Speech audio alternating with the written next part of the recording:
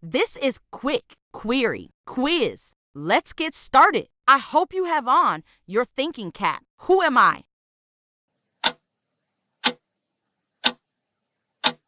This is Langston Hughes.